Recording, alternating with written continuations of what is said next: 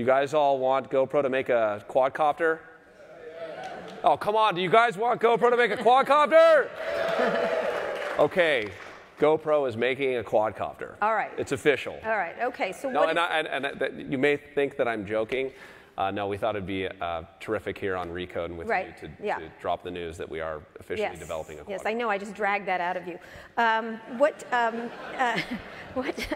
I take credit when I do the good. I do the good kills, but not this one. Um, what? Uh, what? Explain what you're doing there. What is the quadcopter? Besides sounding pretty cool, and I have to buy it for my Ah, it's, children. it's going to be extremely cool. Um, well, quadcopters and the whole movement have a special place for us at GoPro because um, I was a huge uh, radio-controlled uh, plane enthusiast as a kid. And I could never really get anybody involved in it with me because um, either it was too geeky or uh, took a lot of time to learn how to fly these things. You crash them all the time. And uh, so I was really surprised um, to see how quickly the, the uh, general consumer was adopting quadcopters.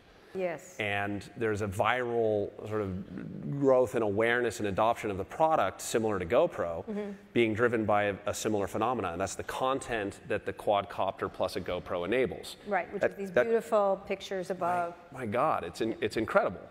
And it, it's, it's enabled, quads plus GoPro have enabled some of the most, it's been one of the most democratizing combinations in terms of enabling people to capture professional quality content and see themselves in their environment in a way that uh, they'd never seen before. Look